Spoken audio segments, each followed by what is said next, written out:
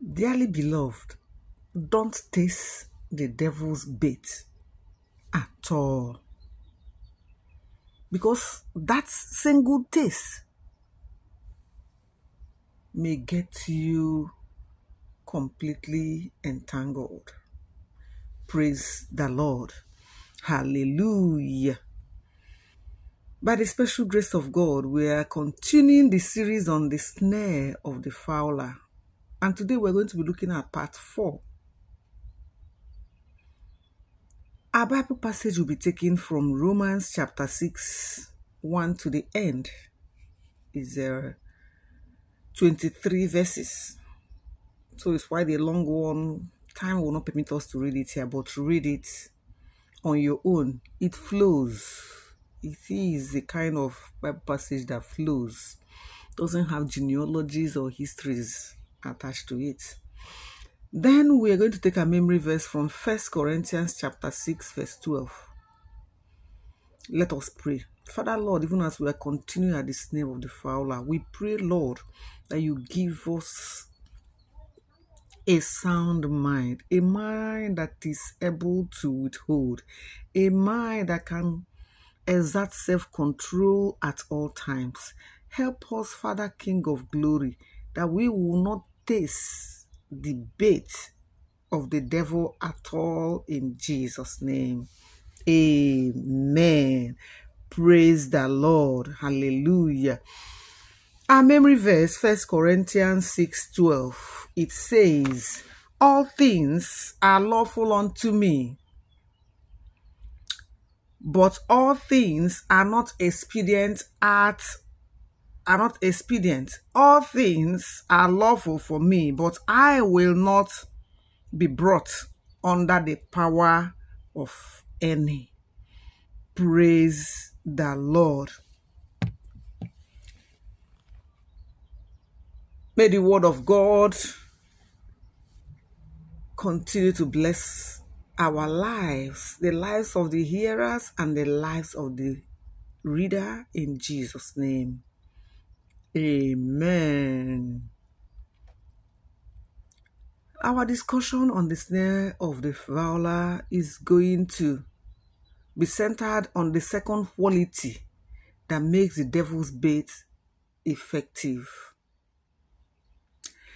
You know, the devil uses bait which are pleasant to the eyes and taste to get people in his trap. Eve considered a forbidden fruit to be pleasant to the eyes and good for food, when the devil tempted her with it in Genesis 3 6. Presenting sin as if it is pleasant is an old trick of the devil to trap man. And every believer must be weary of it.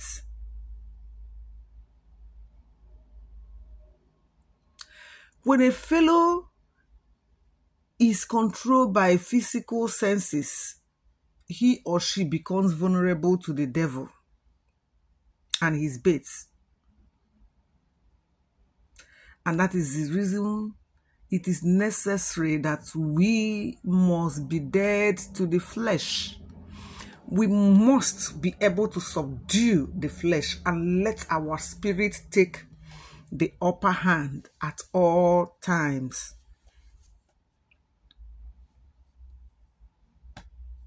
When people are interested in satisfying their flesh, they will not be able to control their sexual desires eating habits, and so on. In a nutshell, such people lack self control. You know, self control is something, is a prayer point I recommend for everybody. Pray that the Almighty God will give you the power of self control. If you're able to control yourself, you know, so many things can easily fall in place. Praise the Lord.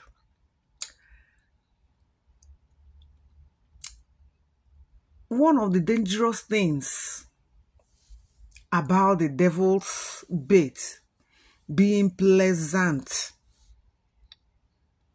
to our taste is that the fellow tastes it once.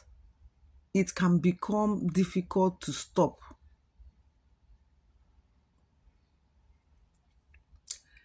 Just as we looked at in the snare of the fowler part 2, the key to avoiding debate is not to taste it at all. It may look attractive, but you must not go near it at all. There is a proverb that says, What you should not eat, you should not sniff.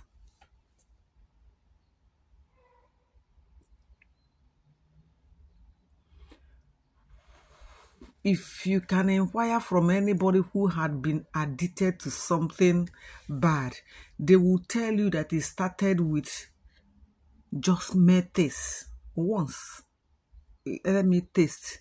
They tested once, and when they saw that nothing happened to them, they did it again and again until they became addicted. Those who are addicted to alcohol usually start out as just a casual drinker who drinks once in a while.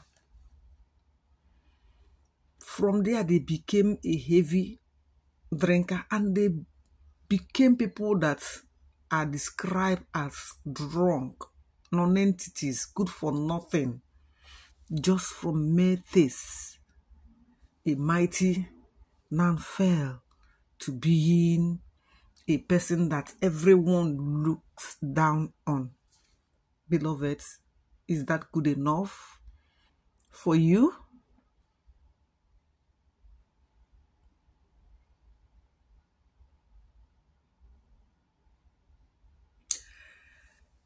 When it gets to this, in a moment, they say that even in a mad person, there is a moment of sanity. So when that moment that the person snaps out of what is happening to him or her, and the person look back at their life, they regret that first day that they tasted the enemy's bait. If the snare is prepared by the fowler and you stay away from the bait, you will not be caught in it.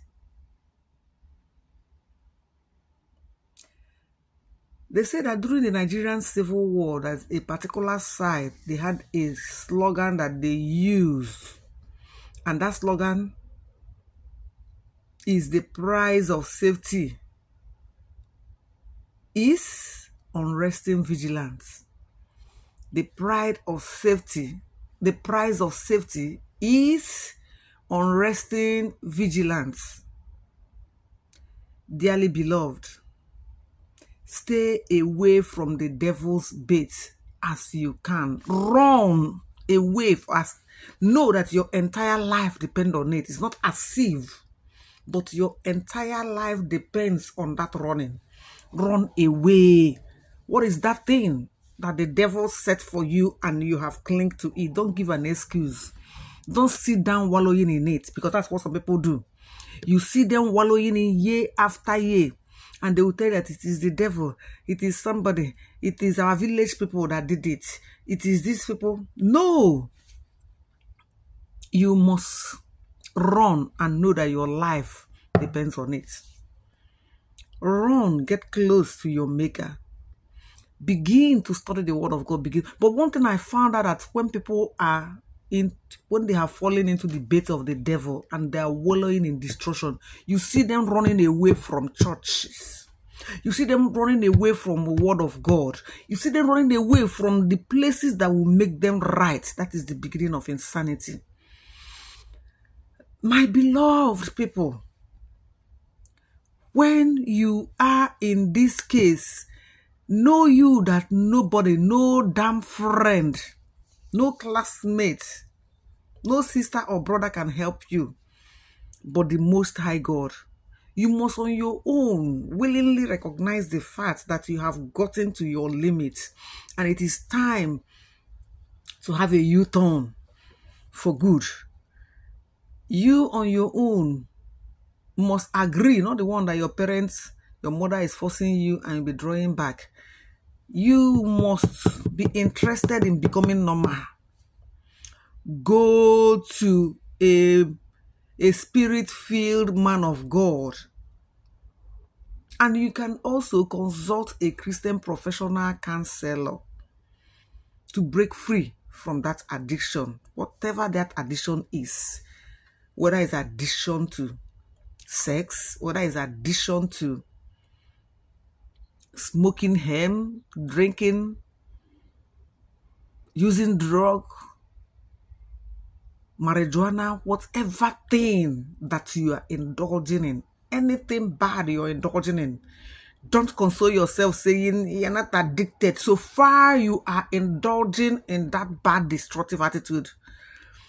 The truth is that you are addicted to it.